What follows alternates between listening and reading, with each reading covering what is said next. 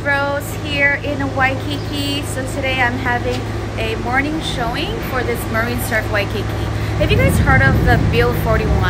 So Bill 41 is basically, here So Bill 41 is about short-term rental. So any property that are outside of the resort zoning, if it were used to be one month minimum rental, you will now have to do three months. But this is in resort zone. So you can legally do short-term rental, meaning you can legally um, rent it out nightly, weekly, however you want. So this is on the ninth floor, beautifully renovated, great location. It's on the Seaside Avenue. You have internet, International Marketplace for your Kona coffee morning, because that's my favorite. so I wanted to give you a quick um, tour. Let's go.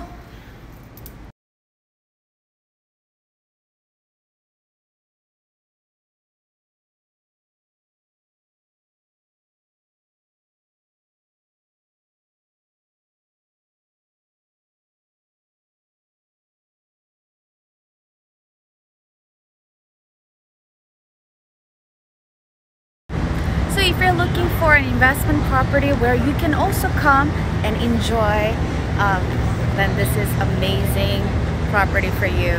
This is listed for $520,000 and HOA includes everything in $500 range. So give me a call if you're interested and I would love to help you. Bye.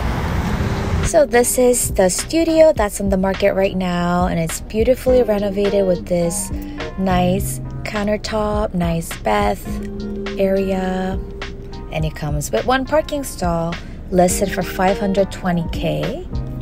And now I want to show you one of my favorite coffee spot nearby that I dropped by before I came to the um, to the showing appointment.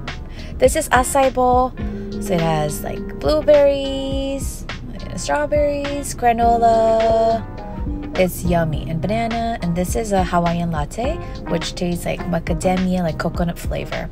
I hope you guys have an amazing day and please contact me if you're looking to buy a property here in hawaii. Mahalo